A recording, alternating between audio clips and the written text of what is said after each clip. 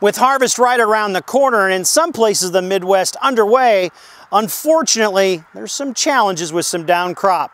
Hi everyone, I'm Chad Colby and this week we're going to talk about how to fine tune your corn head to help you harvest some of that down corn.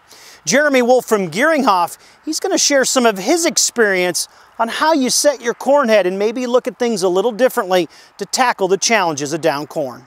So we all know down corn can be a real challenge. Uh, back when we had the old metal snoots back in the day, we'd do anything. We'd take PAM and coat those to try to help slide that material into the head. Nowadays we have poly heads, we have end-row augers that are standard on heads. Uh, if you've got an older head, you can put end-row augers on those. You can add an aftermarket reel to your head to assist with that. You know, Jeremy, it's nice to see if a producer is in the market for a new head, those attachments you talk about, you can get them right from the factory. Let's talk a little bit more about, about the, the snout itself and some things there a producer might want to be a little wary of if he's got some serious down corn. Yep, great point, Chad. So as you notice behind us, we've got ear savers across the hoods and in between the rows. We're gonna to want to take all those ear savers off. Anything that creates resistance on getting that material into the head, we wanna get that stuff out of there so we can smooth transition that crop. Jeremy, what about the pitch of the corn head?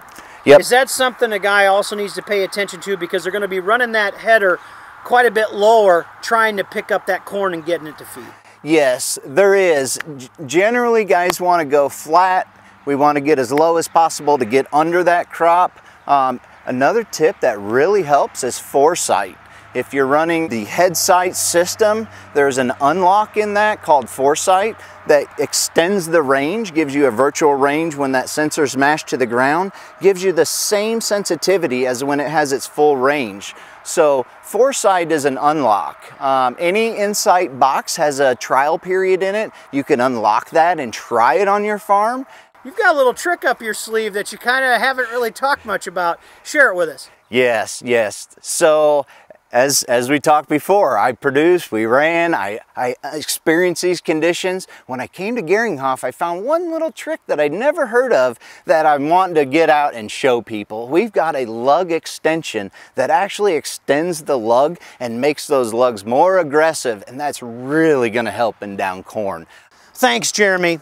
One thing I wanna remind producers throughout the Midwest is we're getting ready to start this busy harvest season and especially when we're all frustrated with down crop. Take your time and be patient.